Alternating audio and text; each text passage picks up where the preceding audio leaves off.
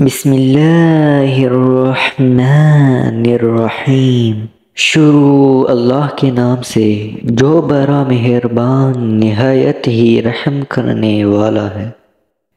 एक दौर का वाक़ है, जिसमें एक कौम आबाद थी, जिसे कौम सबा कहा जाता था। इस कौम पर अल्लाह ने अपनी बेशुमार नेमतें अता फरमाई थी। और ये कौम अपनी ज़िंदगी अल्लाह की बेशुमार नेमतों में बसर कर रही थी। ये कौम एक अजीम सकाफ़त और दौलत से मालामाल थी। हज़रत दाऊद सलाम और हज़रत सुलेमान सलाम की बाज़मत हकूमतों के बाद उनकी हकूमत ज़ुबान सदी ख़ास आम थी। कहा जाता है कि ये लोग गंदम के मग से आटा पीस कर रोटियाँ पकाया करते थे।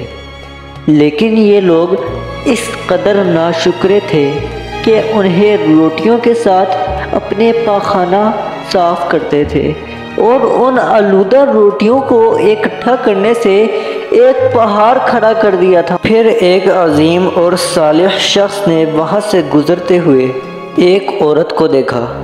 जो वहाँ रोटी के साथ अपने बच्चे के पाखाने के मकाम को साफ़ कर रही थी। उस शख्स ने औरत से कहा, तेरे ऊपर अफसोस है और तू अल्लाह से डर। कहीं ऐसा ना हो कि अल्लाह तेरे ऊपर गज़ब ढाए और तुझसे अपनी नियामत छीन ले। फिर उस औरत ने जवाब में उस शख्स का मज़ाक उड़ाया और तकबराना अंदाज में कहने लगी, तुम मुझे भूख से डरा रहे हो? जब तक मेरी सरकार जारी है, तब तक मुझे भूख से किसी किस्म का कोई खौफ नहीं है। अभी कोई ज़्यादा अरसा नहीं गुजरा था कि अल्लाह रब्बुल इज़्ज़त ने हौसबाजों और इसराफ कर लोगों पर अपना गज़ब ढाना शुरू कर दिया। पानी जो हमारी ज़िंदगी की बुनियाद है, उन लोगों से छीन लिया गया। कहत नाजिल हो गया। बात यहाँ तक पहुँच गई थी कि उनकी ज़ख़ीरा की हुई तमाम गज़ा ख़त्म हो गई। आखिर वो इतने मजबूर हो गए कि वो उन्हें आलूदा रोटियों पर टूट पड़े। जो उन्होंने इकट्ठी करके पहाड़ की मानंद ढेर लगाया हुआ था। और यहाँ तक कि वहाँ से रोटियाँ लेने के लिए एक सफ्स लगती, ताकि हर कोई अपने हिस्से की रोटी ले सके। कुफरान नियामत, कहत और उनकी इस बदहाली के बारे में कुछ रवायात मौजूद हैं। कुरान मजीद में सुर नहल की आयत नंबर 112 और 113 में इस तरह इर्शाद बारी ताला है कि तर्जमा। और अल्लाह ने उस करिए की भी मिसाल बयान की है जो महफूज और मुतमिन थे। उसका रिज्क हर तरफ़ से बाकायदा आ रहा था, लेकिन उस करिए के रहने वालों ने अल्लाह रब्बुल इज़्ज़त की नेमतों का इनकार किया।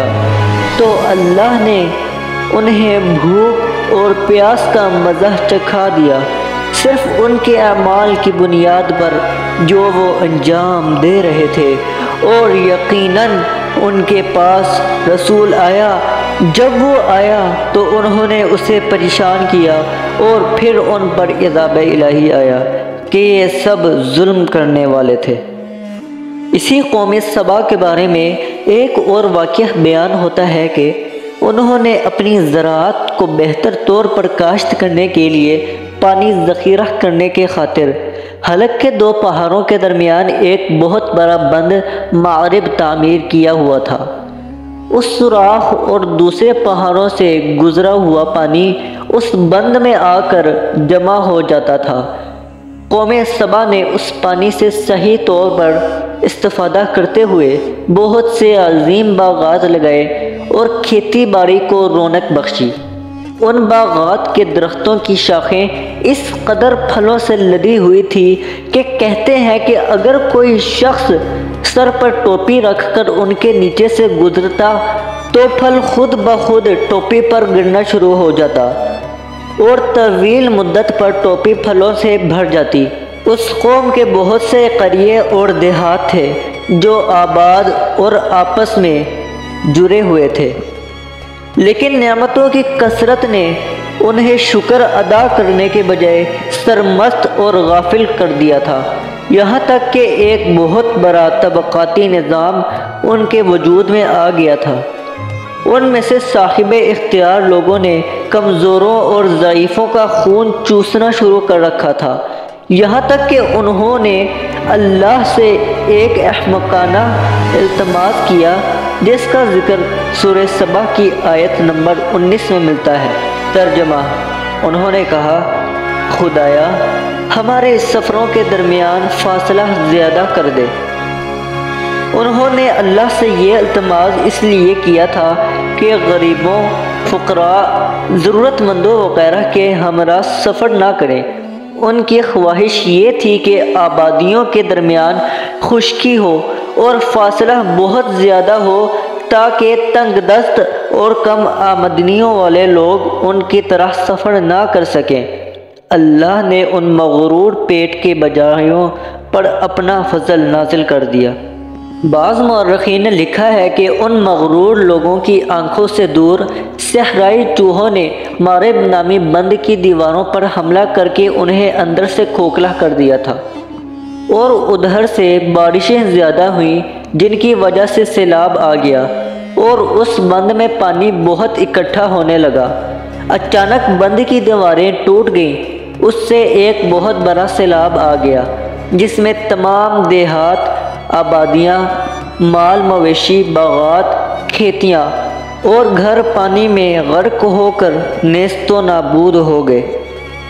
आखिर में सोया सबा की आयत नंबर सत्रह पर इर्शाद किया गया है कि तर्जमा, ये हमने उनकी नाशुक्री की सज़ा दी है और हम नाशुकरों के अलावा किसी को सज़ा नहीं देते हैं।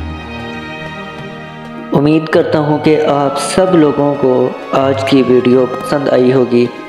मिलते हैं एक नई वीडियो के साथ। तब तक के लिए अल्लाह हाफिज़।